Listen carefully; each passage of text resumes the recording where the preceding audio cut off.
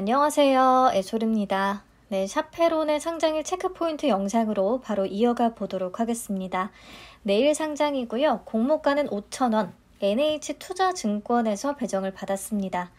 보니까 저는 추가 납입하는 거 까먹고 그냥 지나쳤더라고요. 여러분들도 몇 주 배정을 받았는지 다시 한번 확인을 하셔야 될 것 같아요. 네, 그럼 최종 배정 내역부터 보겠습니다. 어, 증권 발행 실적 보고서에서 조금 제가 이상한 부분이 있었는데요.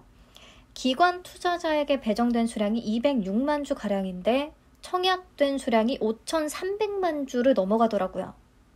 보통 기관 투자자들은 배정된 수량만큼 청약을 하고 그만큼 배정이 딱 되는 건데 어, 이게 뭐 오타인지 뭔지 모르겠어요. 아무튼 결과적으로 기관 투자자 미납이나 뭐 일반 투자자의 미달분은 없었다는 거 확인하시면 되겠습니다. 최종 의무 보유 확약 비율은 수유 예측대에는 수량 기준으로 5.47%밖에 안 됐는데요. 최종적으로 18.98%까지 끌어올려줬더라고요. NH투자증권이 그래도 작정하고 열심히 잘 잡아줬다고 봐야 될 것 같아요. 3배 이상으로 늘어났으니까. 그 보면 15일 확약을 소량씩 좀 신청한 기관들이 몇 개 있었는데 이 기관들 위주로 잘 배정을 했다라고 볼 수가 있겠습니다. 그래서 최근 공모주들과 비교해서 봐도 18.98% 정도면 무난하고 괜찮은 수준이다 라고 볼 수 있을 것 같아요. 뭐 의미 있게 높지는 않지만요. 자, 적용해서 최종 유통 가능 물량을 계산하면 608만 4,090주가 되고요. 비율로는 27.37%까지 내려가고 금액으로 계산하면 약 304억 원 정도, 300억 원 완전 초반대까지 내려갑니다. 자, 유통 물량 측면에서 조건이 나쁘지가 않아요. 근데 기존 주주 비율이 16.77%로 높다는 게 조금 걸리는데 우선은 뭐 금액으로 계산하면 전체적으로 부담이 없는 수준이기는 합니다.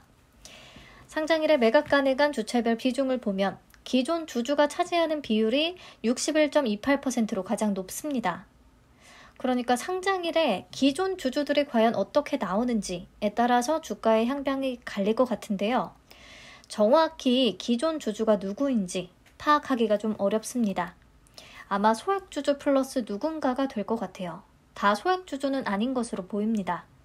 그나마 좀 소액주주들의 매수 단가 파악을 위해서 우선 38 커뮤니케이션을 좀 뒤져봤는데 매수가가 5천원 아래였던 적이 없기는 하더라고요. 공모가가 5천원이니까 5천원 아래였던 적이 없긴 해요. 다행히.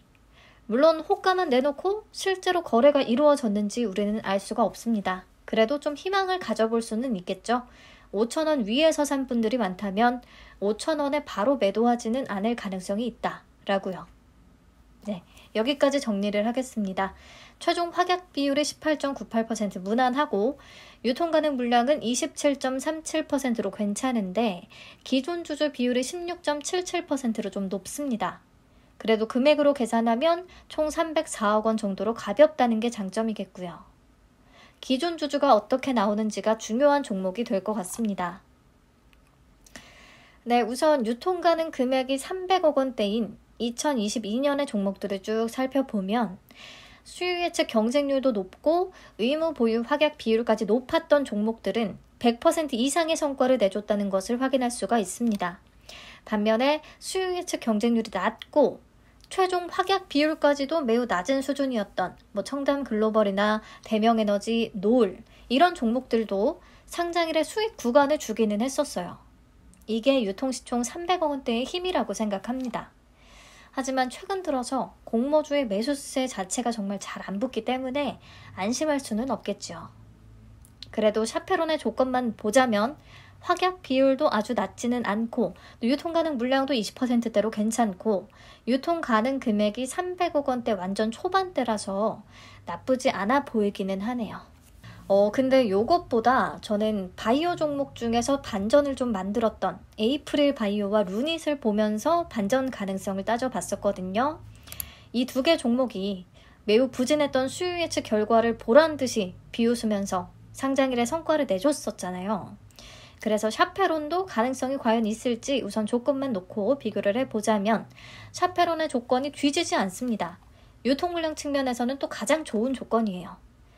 그리고 공모가도 밴드 하단 대비 마이너스 40% 가까이 낮춰서 정말 파격적으로 낮춰주기도 했고요. 플러스 중요한 게 기존 주주의 공모가 부근 매도 가능성 여부인데 에이프릴바이오와 루닛의 기존 주주는 대부분 재무적 투자자들이었고 이들의 pre IPO에서의 투자 단가가 공모가보다 좀 높은 경우가 꽤 있어서 매도세가 덜 나왔다고는 생각합니다.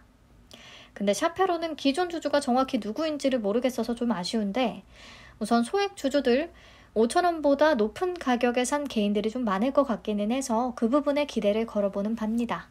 네, 반전을 만들어 줬으면 좋겠네요. 결론. 수익을 100% 장담할 수는 없지만 기존 주주가 5천원의 매도 물량만 쏟아내지 않는다면 반전 가능성은 있다고 생각합니다. 일반 청약자들의 균등 배정 수량이요. 188주까지도 받은 청약자들이 꽤 많거든요. 기본 균등 수량이 55주였는데 추가 납입하지 않은 저 같은 사람들의 물량이 뒤로 밀리고 밀리면서 400주 이상 청약자부터는 188주까지도 받아가셨어요. 그렇기 때문에 급하게 섣불리 균등으로 배정받은 수량을 던져버리지는 않을 것 같다는 생각이 들거든요. 그러니까 기존 주주만 조금 참아준다면 반전을 만들 수 있지 않을까요? 그리고 샤페론의 파이프라인 중에서 치매 치료제가 있는데요. 치매 테마가 9월 말쯤에 형성이 됐었거든요. 미국 바이오젠의 임상 3상에서 치매 치료제가 증상 억제 효능이 증명됐다고 발표가 되면서 관련주들이 급등세를 보였습니다. 대표적으로 피플 바이오의 차트만 가져왔는데요. 아무튼 이렇게 테마가 형성이 된 적이 있다는 거 좀 긍정적으로 작용할 수도 있겠습니다. 내일 샤페론까지 해서 3연속 수익으로 쭉 달려줬으면 좋겠네요. 영상은 여기서 마치겠습니다. 오늘도 함께 해주셔서 감사합니다. 편안한 밤 되시고 다들 잘 자요.